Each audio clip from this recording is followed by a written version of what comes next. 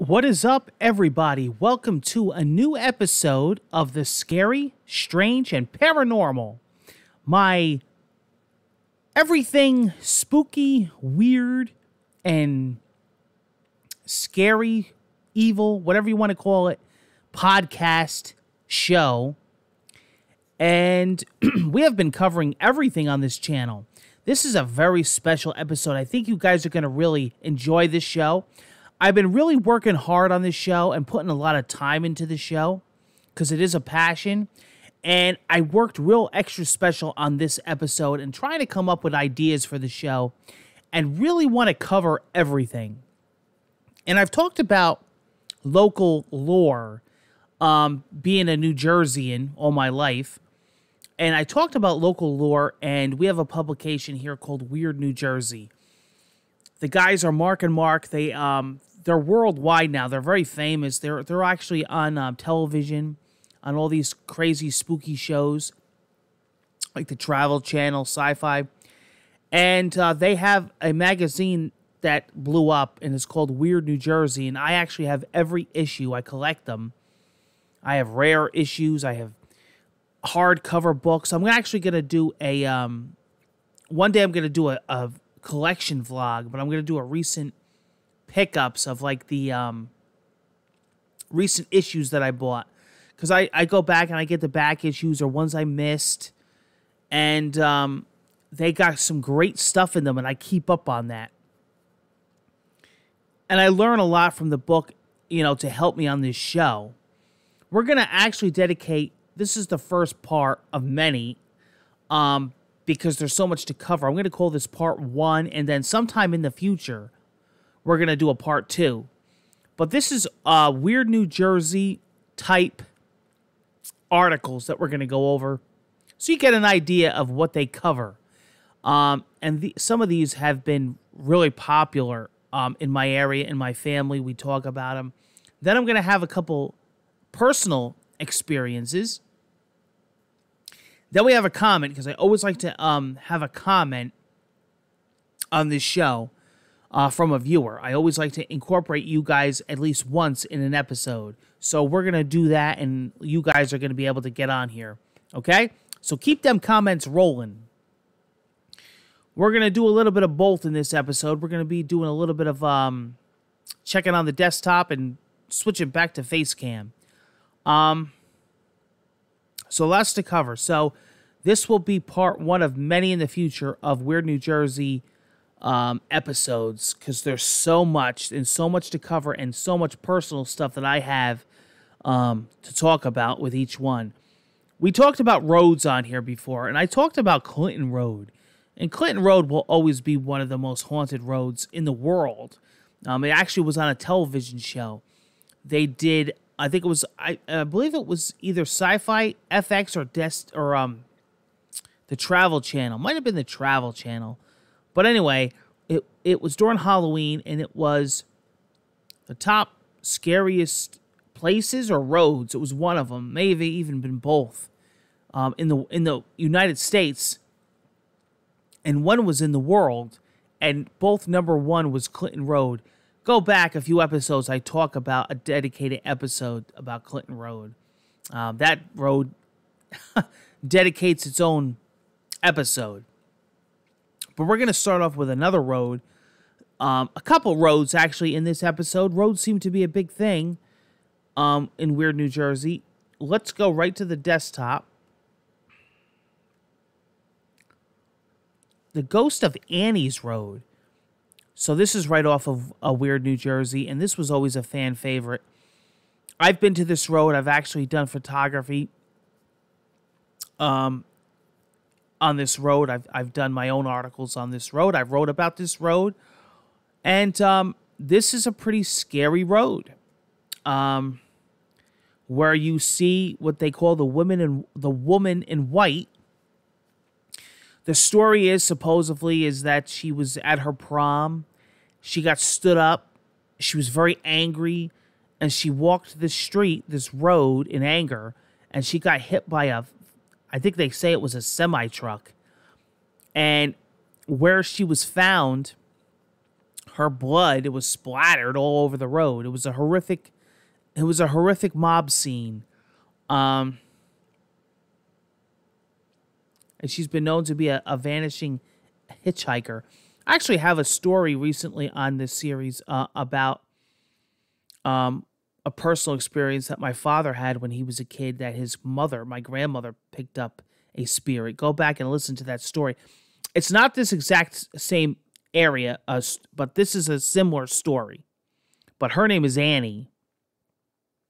Um, it talks about the Passaic River. This is the area that she's at. This is the cover of the issue where they talk about the article. Here it is right here. This is where she was. Very nasty, horrific. Annie's death and gravesite. Riverview Drive. Laurel Grove Cemetery. So they tell you, you know, locations. Enter at your own risk. But she's been known to do some very nasty hauntings. I've been there quite a few times. Um, I have been scratched. I've been scratched on the arm, like almost like a stigmata. And then you have Gravity Road. Gravity Road is another road. Um, but a little bit of a different story. Uh, you may have heard of Gravity Road. Um, it is in a place called Franklin Lakes uh, near Bergen County,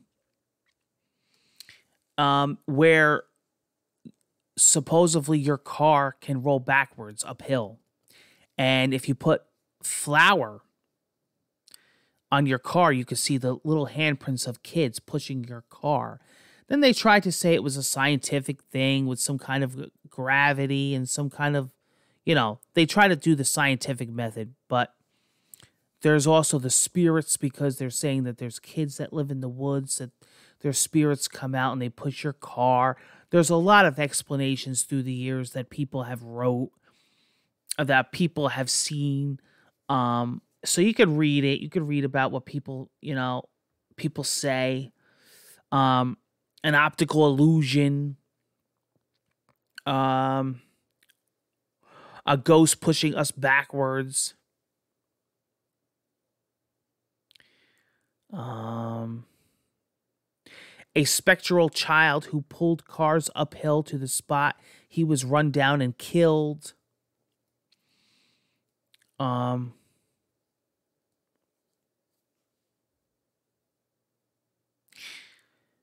Pretty scary. So that's Gravity Road or Gravity Hill. Here's one of my favorites. Now this is interesting. This is called Jet in the Woods. I grew up I grew up with my father listening to this story before even Weird New Jersey covered it. Um in my area uh, in not in particularly this area, but northern New Jersey, not far from here, maybe less than a half hour, not even there is an actual abandoned jet in the woods that's actually decaying. This article was was posted in 2011. From what I heard, I haven't been there recently. I heard there's almost nothing left. Once this article and Weird New Jersey took over, um, it became an attraction, and I think a lot of people took pieces of it. And um, there's very little left of the jet, from what I understand. It's a very weird story. Now, I've read this article, I've read articles from Weird New Jersey, I've read personal articles on other forums. Here's some pictures. Now, my father grew up in this area, actually hunted in this area, white-tailed deer and turkey, so he knows this area in and out. It doesn't say actually exactly, it tells you West Milford, which is right around here. I have family that lives there now could probably walk to this location. Doesn't exactly tell you, but my father claims this is off of a road, not far off of a road called Macopin Road, which we had family that used to live there. Um, you know, a lot of these publications don't want you know the sites to be exact. You could probably Google Earth this and see the jet they say, but I don't think there's much left. I read this story, and and this is a different story from what I've read before. Um, I've read from personal people that lived in this area that knew the story at the time. It was what they call the government or the the the um the arsenal or the um what do they call it? I can't think of the name, but anyway, where this jet flew out of was wanted to be kept hush hush. Okay, the base, the army base, wanted this to be kept hush hush because they were kind of like embarrassed by what happened. But this talks about how in 1962 a Lockheed T2V Sea Star crashed in West Milford, which is 50 miles from Manhattan. The jet hit 900 feet from a nearby neighborhood um. Oops. What happened here? But basically, what it says is that two pilots were on a training mission and were inexperienced and miscalculated and had to land the jet and destroyed the woods, and the jet was pretty much left there. That's not what I read years ago. What I had read was that there was a pilot that had a girlfriend and he was from Picatinny Arsenal. And basically, what I had heard was that he was in a love triangle and she had cheated on him and he was in a rage and he took the plane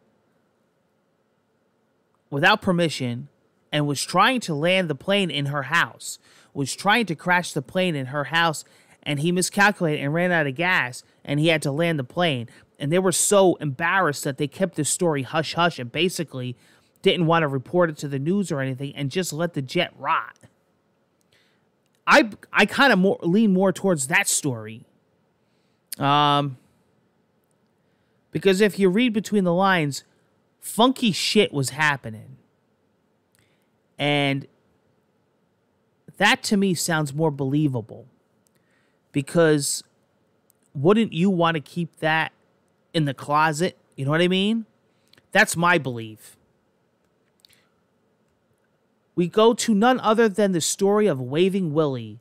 You guys won't know about this guy, but I do. And he's actually, if you look him up, he's world news now. He's long past, he is passed away.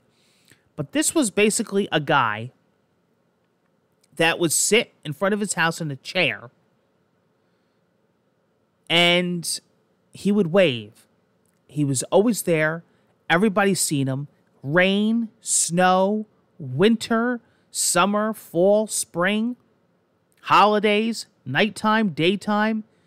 This guy was in his chair and he would wave. And anybody that went past his house on the main road a lot of people travel to work and whatnot and go into the city, so they had to pass him. He would he they would know know him to wave at them. And this is his memorial because he's now passed. His chair still sits there. Um, he's in this is uh, 206 in Byram Township. I used to go there practically every day. And he would he would just wave and wave, and now here it says an A and P had opened. He would sit in front of the store and greet shoppers, or he would be at home on his in his chair in front of his house, and um, he never stopped waving. People didn't know where Byram was, but if you said Waving Willie, everybody said, "Oh, I know where that is." and they didn't even know his real name, but they knew him as Waving Willie.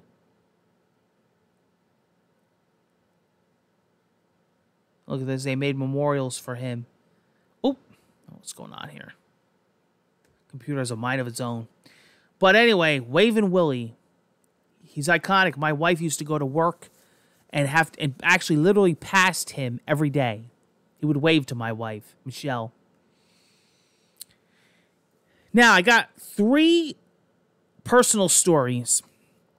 The reason why this one is personal is because this one really isn't that big with Weird New Jersey. Now, I've tried to have them cover this. I talked to Mark and Mark personally. I've sent them articles. I've sent them, you know, an experience that I had. I sent them pictures. They did talk about it briefly in past Weird New Jersey issues, but there's so much more that they really should cover. So I've been doing a lot on my own in covering this. This this is like very close to where I live. This is called the Outlook Lodge. Now it's on an abandoned, well, not an abandoned road, but it's like on a hillbilly country road, back road. But you can't get to this house. No, you can't drive to it. You can't get to it from a road. The house is almost like it's not meant to be. It's it was made not to get to. Okay, it it has no access. You have to literally park and you have to know where you're going. So it has you have to know about this place. You have to park and then you have to hike a few miles straight uphill in thick woods. Then you get to it. And it's abandoned, it's running down. They're trying to actually fund fund it. There is like a um a charity going around. Um they actually in Christmas time there's a bottom lodge below this that they use for the holidays. And they do Christmas tours and they actually make homemade Christmas ornaments of this place. But this was like one of the early it's very historic, it's very old.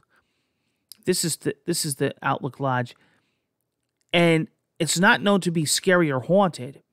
When you look this up, it's very historic because these two guys that owned it, named Turner, were very into art, built sculptures and paintings in and out of this building. And they were one of the first that did like artificial insemination of like cows and they did all these scientific experiments on dairy farming and they were the first to like do all this kind of crazy stuff that's like patent today like they're the like originators and they're the turners and they both died of course and their family just basically let the ha- let the property go um they were brothers and I'm going to tell you about this place. This place is probably one of the most haunted places on earth. I've wrote famous ghost hunters on TV like Zak Bagans, Jason Hawes of Ghost Hunters, all these famous people to go to this place. Now they have never responded to me, but they really should. And if they don't, I'm going to actually do a special on this house because there this place is fucking creepy. Um I know how to get into the place. I've actually toured inside of it. I I could tell you that there were voices in the house. I have them on my phone, on my voice recorder. The house was completely empty. Um there were literal spirits walking in front of me I mean, in front of me. I felt them. I heard them. I was going up the steps. There was somebody in front of me, invisible, going up the steps with me. Um, I have never experienced this, but many, many people have told me that sometimes through the woods you could see the electric on in the house with the two top windows that you see here lit. There's no electric in this house, there's no lights. Um, there's that. So you could hear howling coming from the house in the middle of the night. There are caskets actually. Here we go. There are caskets actually built in the house. I've went up here. I've went up here. And all of the electric is currently shut off. They they, they stopped everything from running because it was too costly. And right now, the house is caving in because of the rain and the water. You can't really go up the stairs anymore, and the roof is is like I said caving in. the The house is probably going to be condemned soon. Only reason why it's not is probably because it's historic and maybe they're not allowed. Um, it's a shame, but they are, like I said, trying to. I don't know how much they raised since then. It's probably going to cost a lot of money. Um, but I could tell you from personal experience, uh, this place is mad haunted. I did read an article, and I believe it's the one that they posted in Weird New Jersey, that it was a girl, it was a girl camp, and there's a there's a story that a girl had wrote about the sculptures changed. There's actually a picture of one here. The sculptures on the house changed, and she says that this sculpture that you see is not the original face. And one night it changed and it never ever changed back, and she never went there again. And that she saw spirits in the house when they had their school camp there, girl camp. Um, that's the article that I remember reading. So that's the Outlook Lodge. Pretty, pretty scary. Okay. I'm going to switch back real quick.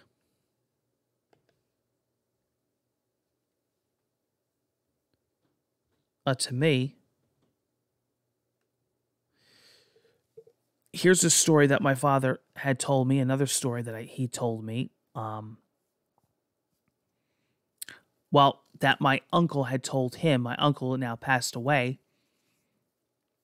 But this is his story. Um, I believe this happened in Bloomingdale. He was walking at night with his dog. He had a German Shepherd. So, you know, a very alert, you know, dog. And, you know, a lot of animals uh, have been known to pick up paranormal activity. They could sense it. So he had his ears up and he was growling, and my uncle didn't know why. So he figured it was an animal in the woods. It was a deer, maybe um, maybe a feral cat or like a raccoon or something. So he stopped and he looked around, and right across, going across the street in front of him, was an an old soldier with a musket came out of the woods, and paid no mind to him was walking in a straight path and walked right across the road back into the woods. And the dog was flipping out. I think they call that a residual spirit because they're on a path. You know, they're they're there's an then there's an intelli- intelligent spirit that knows their surroundings, but then there's one that's caught on a loop. Uh, at one time, he probably used that, you know, in the army, in the war, or whatever, a Confederate soldier. It was very historic, that area. They had found like cannonballs, grenades. And this was like the middle of the night. True story. Pretty scary, pretty creepy. He said that he'll never forget the goosebumps that he got. I'm going to jump back real quick to an to a um to another personal story. Mothman. Now, Mothman is normally a West Virginia folklore legend. Um, I've talked about Mothman before, but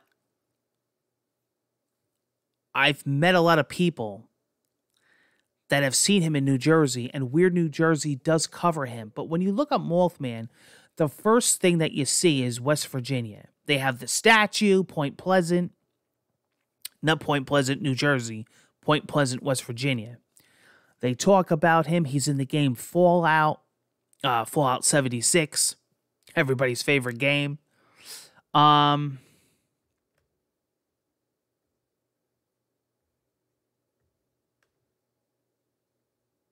There he is.